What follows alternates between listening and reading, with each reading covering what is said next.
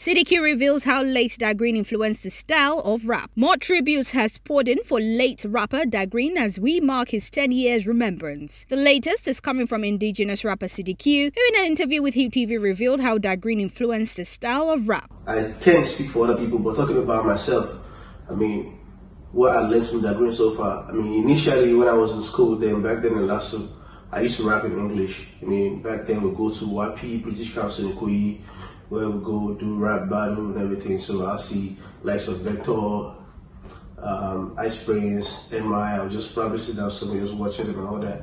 And I've been rapping in English. And I to be like, ah, I like you what? They don't rap in English, you know. See, people want hear, they want hear English rap, rather go, go buy 50 Cent or a Jay-Z album to listen to English rap. That you better rap in your, like, charity begins at home. That I should rap, I should rather start rapping in my dialect so I can start gathering my fan base from home. Then as time goes on, I can now start switching it up. You get so I learned a lot from him on that aspect. You get so I mean, and from his death too. I mean, I just learned that life. I mean, I there? I thought, I mean, when time for death come, I mean, you could live by breath, you know. So I mean, you just have to be very careful whatever you're doing in life. You feel me? So always make sure you put God first before anything. Then make sure you take care of your family and all that because you don't know. I mean, till when tomorrow comes, you don't know who you're going to lose. So that's it. CDQ further stated that though many people had been doing indigenous rap, but the game changed with the emergence of Dagrin. Yeah, it's been 10 years since Dagrin left. And talking about his legacy when it comes to indigenous rap in Nigeria, um, trust me, there's been some people already doing the indigenous rap before Dagrin came to the limelight. But when Dagrin came, he took the old game to another level. I mean, like he doesn't just rap in Yoruba. He makes you feel that hip hop, you know, like when you listen to Dagrin, you feel like you're listening to like likes of um, G Unit, 50 Cent, you know, like Lloyd Banks and all that.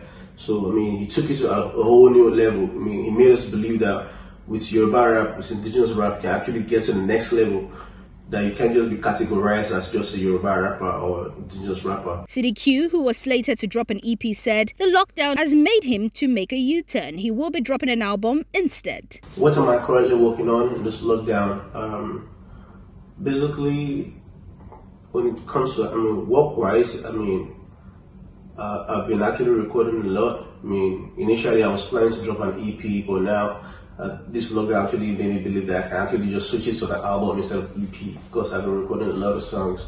I mean, different producers. I mean, shout out to my guy, my big bro, Masterkraft.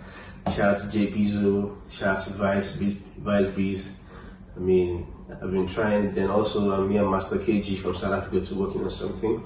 And also, I've been trying to do some collaboration with some American artists too. I mean, I don't want to let the cat out of the bag yet, so.